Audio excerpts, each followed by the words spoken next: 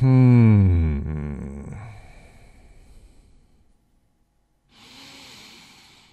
Hmm.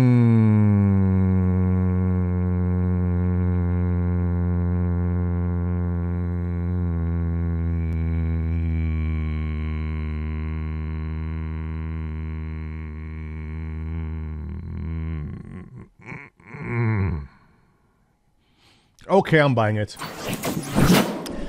Ladies and gentlemen, welcome back. I am Montoya. I've slept in it. I've given this some thought. You know, I'm I'm very hesitant about adding new ships, but I went and did it. I melted down my Constellation Andromeda for store credit, and I'm about to buy the Mercury. I think they hit it out the park. I've been staring at this GIF now for about 10 minutes, and uh, I'll tell you why exactly I'm going to purchase this ship. This is the new iconic ship of Star Citizen. It used to be. You can pull up the ship matrix here. I'm comparing the Constellation to the new Mercury Star Runner. The Constellation was meant to be the iconic ship of Star Citizen. You guys who've been here from the beginning remember very, very early on when Chris Roberts was showing off the Constellation, he was saying, hey, "This is the uh, the Millennium Falcon of Star." I can't do his accent. I can't do anything like Chris Roberts. Oh, can I? Uh, the Constellation was supposed to be the Millennium Falcon of Star Citizen, but as it has been out Millennium Falconed by the Mercury. and it was a very, very tough decision to get rid of the Constellation because it was the first ship I ever pledged for. And uh, but you know what? The Mercury just outdoes it. Well, it doesn't outdo anything as far as um, the actual stats of the ship, but just the aesthetics of it is just right, you know. And for the price range, okay, two hundred bucks.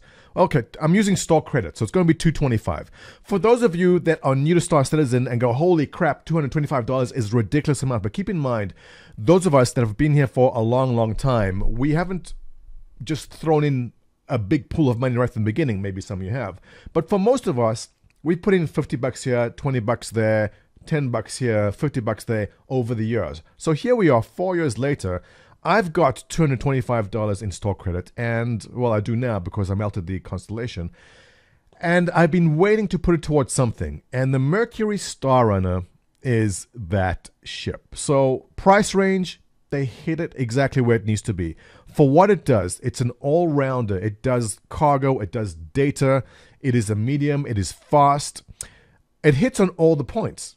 And most importantly for me is the aesthetic. It just looks like the kind of ship that I want to use in this game a lot. The Constellation, while I it's always going to be, I think, the unique ship, it just doesn't speak to me the way the Mercury did.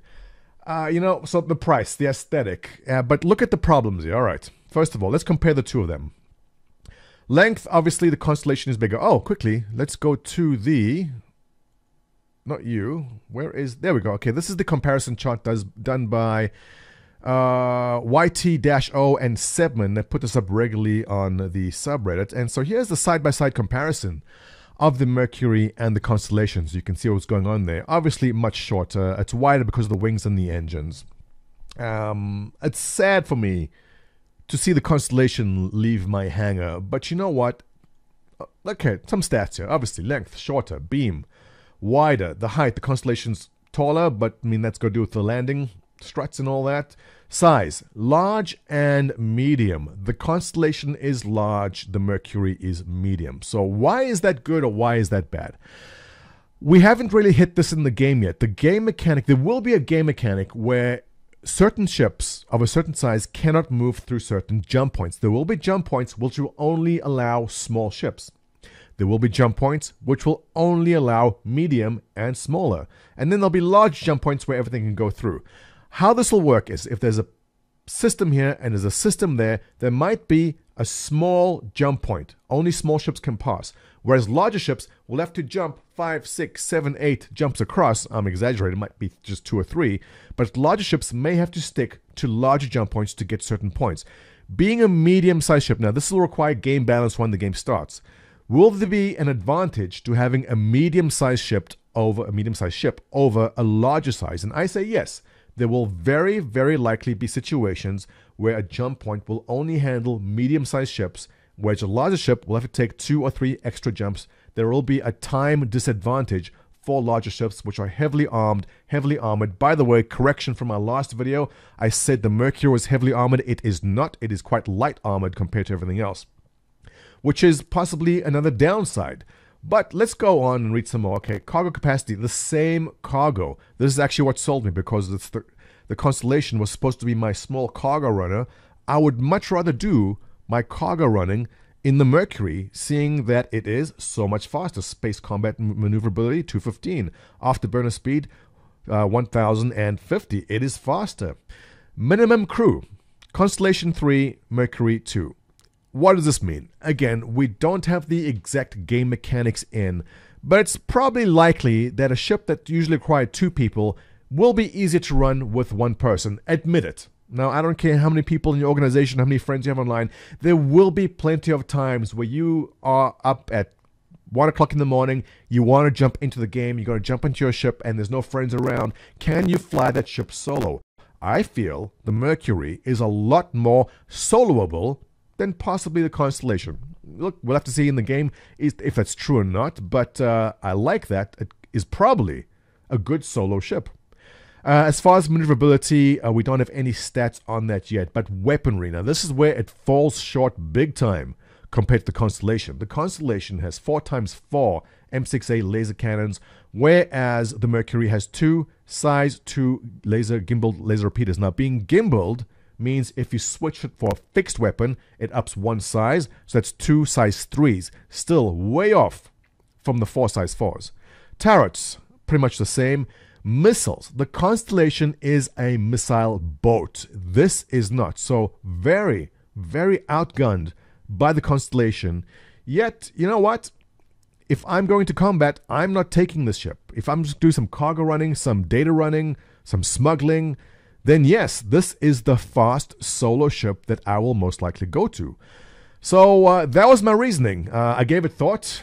Uh, I'm sad to see the Constellation go, but this is what I imagine myself flying in in the game. So with that, uh, here we go.